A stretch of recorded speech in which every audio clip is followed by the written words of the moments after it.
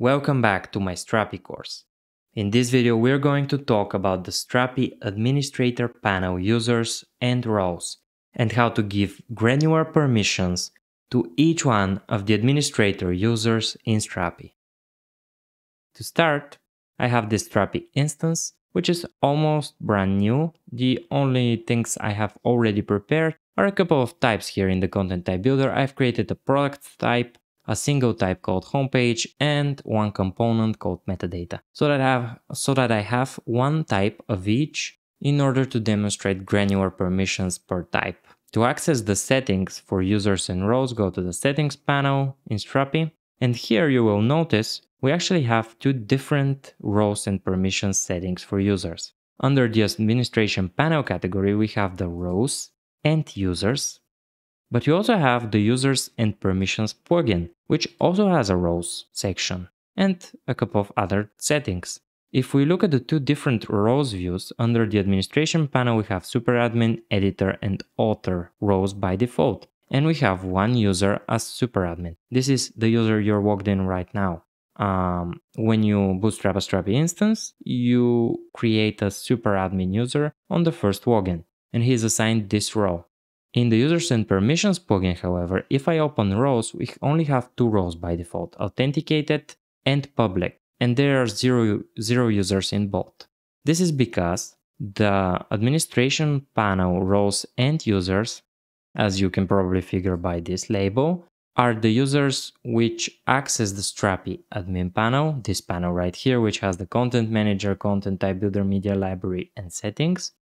And these are the roles for these users, the Strapi admin panel users. While the users and permissions plugin allows you to create users for your content types, meaning the content types you create here and the content created in the content manager that is accessed through the API. You can create users that access these contents. And the users of your actual front-end application can be handled here. The users and permissions plugin allows you to set up things like JWT authentication, user sign up with email templates for reset password and email address confirmation, and other things. We'll cover the users and permission plugin in another video. In this video, I will focus on the administration panel roles and users. Starting with roles, I already mentioned that we have three roles by default, author, editor, super admin you can see them in this grid view and you can create custom roles. But first, let's talk about what a role is. A role is simply a collection of rules and permissions for each content type and section in the Strapi admin panel. If I open author, for example, to edit it, you will see that I, uh, each role has a name and description, which are not uh, important. They are just for the convenience of you, the administrator who assigns these roles. And then we have tabs for different types, collections, single types, plugins, and settings. This part right here, the settings of the Strapi admin panel, separated to different sections. Each plugin we have installed in our Strapi instance, and then single types and collection types, of course. Each collection type, I can assign this role access for each collection type to create, read, update, delete, and publish items if we have the draft and publish workflow enabled. In addition to that, I can also expand each collection type and give permissions for each field. For example, I might want this author. Uh, let's take my product type, for example. It has a title, uh, SKU, description, and price fields. Quite straightforward. Let's say that I want the author to be able to create each of these fields and read all of them but only update title, description, and price without price maybe of existing fields. I can do that. I have the granular control to give access to this uh, role for each field in my content type, which is very useful. In addition to that, we also have additional settings here, which if I click right now, it will tell me that I first need to select actions before defining conditions. These settings are for conditions. Let's say I'll collapse the fields view and let's say I want to give my author the rights to read and create products. And then when I go to settings, I can apply conditions. These conditions are can create when and can read when. So I give additional conditions to the read and create permissions, which are is creator and has the same role as creator, where creator means the person who created this item. For example, if I said this, the role would be able to read an item which he created himself. Going forward, single types, so far we've been talking about collection types, single types have very similar permissions. If I expand homepage, I have fields permissions and type permissions, and I have the same conditional settings for each. If I click, you will see they are exactly the same. Single types and collection types are very similar, uh, the only difference being that single types, uh, you can have only one instance of a single type. Plugins are somewhat more interesting. Each plugin has different permission options depending on the type of the plugin. If we go through them, these are the built-in plugins, so you will have them for sure and they're important. Content Manager. Here we have uh, different settings. Primarily, uh, we can give the user the permission to configure the view for single types, collection types, and the layout of components. Or we can uh, prevent the user from controlling the view.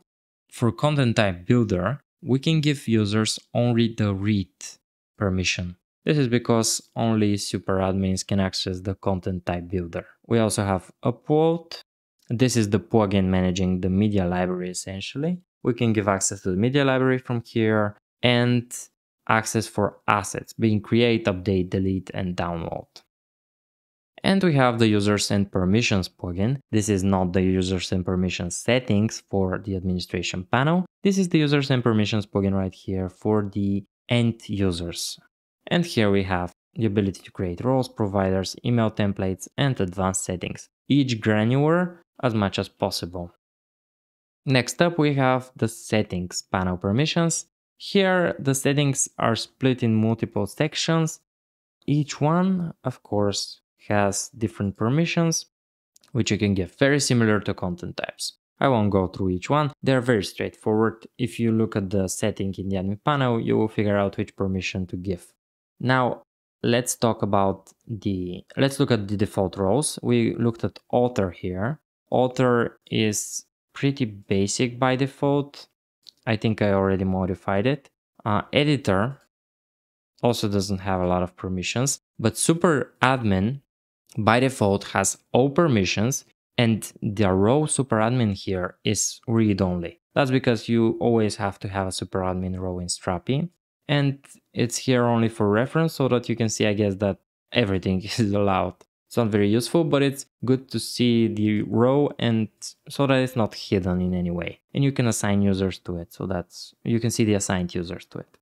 Now you can create a custom role with the add new role button. You can call it whatever you want. For example, I can call it products editor and I can give this editor all, all possible access to products except delete, let's say. And yeah, I can also give them granular permissions. For example, if I don't want the SKU to be updated by some user. And then I can also configure his access to the plugins. I would want him to be able to configure the view of collection types and maybe read the content type builder or not. I'll want my user to have access to the media library and create and update and download copy-link assets. And when I create my product editor, I'll give them some description just for the demo, save, and I have my products editor user role, excuse me. If I want to give that role to a user, I actually have to go to the users section. Again, these are the Strapi admin panel users, and I have my user right here, which is a super admin. If I click edit on it though, I can actually, as you can see, change roles here users roles and I have the super admin role. It's important to note that the user can have several nodes. That's very important. I'll mention why later. But I can also give my user the products editor role and save. If I go back and go to roles, I now see that products editor has one user and super admin has one user. I want to spend a few minutes to talk about the practices I follow when I create real roles and users for back uh, CMS administration. So I'm not saying this is the right way to do it, just sharing my experience. I prefer to create roles for each content type I have. Take products, for example. I would create a couple of users for products. First of all, I would create a role which will be products admin. And the products admin will naturally have all access to the product section, the products content type. Let's save that role. I would also create a products read only role. This role will be for users who just need to view the product section or any arbitrary content type. The important thing here is that I'm creating a role for one specific content type only. And in some cases, I might need a role in between. Admin can do everything with products, while read only can only read. In some cases, with some more specific content types, I might need a products editor role which is something in between. Uh, a product editor might be able to create, read, and update, but not delete an item. While he might be able to publish, you might limit the update functions. For example, you might not want the editor to be able to edit the SKU and price fields, or you might restrict the update altogether to only items that the editor has created so that he doesn't edit items of other backend users. This is just an example for, for a in-between editor role. You might also call it whatever you want. I just find it, um, you know, convenient and easy to understand using the editor keyword for that role in between an admin and read-only user. Now, when you have such granular permissions for each content type, sure, you will have a lot of roles. But you can then go to users and as Strapi supports multiple roles per user, you can give granular permissions to your users from here.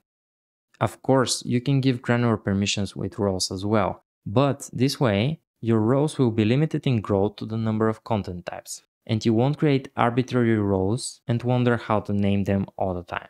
This way you know the roles are per content type and you can give the users the roles they need for each content type and module. They would also likely be able to request access for content types rather than know the name of an arbitrary role. And uh, I find this to be a best practice for me and it seems to work really well that way. With this, I'll wrap today's video. If you enjoy the content, don't forget to subscribe to get notified when the next video in the series is released. Take care.